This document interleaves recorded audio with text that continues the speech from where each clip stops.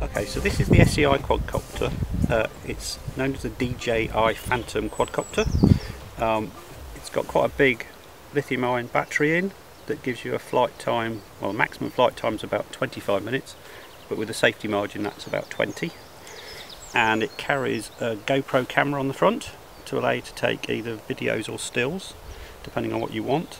And it's on a controlled gimbal, so you can adjust the angle of the camera in flight to get the shot that you want. The camera's uh, got a wireless connection to a tablet so you can actually see what you're filming as you're flying and actually control what the camera's doing that way as well. So that's what we've got in here. So we're working at the Arboretum Trust out at Castle Howard and the task that they'd like us to help with is they've got a database of all their trees that are in the Arboretum. What they haven't actually got is a map to locate where those trees are.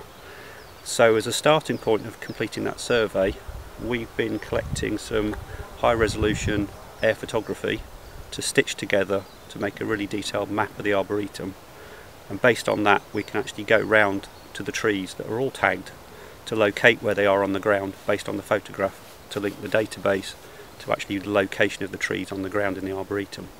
So that's what we've been up to. So you start the motors up and then if you're happy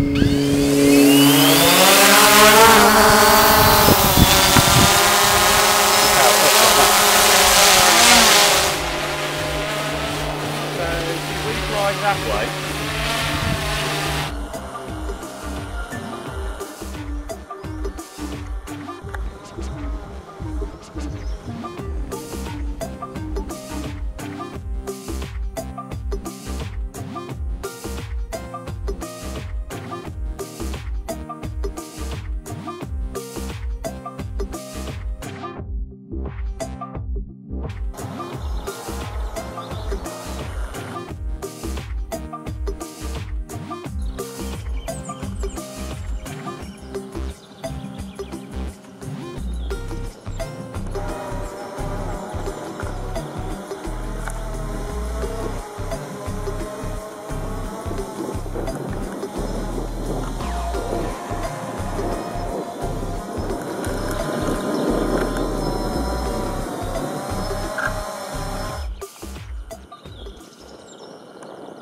Well, I think there's a variety of things. So I've already been talking in um, the EPSRC co-motion project and what we're thinking there is to actually try and use this to fly the routes that older people use within towns so that we can film the hazards and the issues that they're confronting from above to get a better feel or to be able to communicate those problems maybe to other people.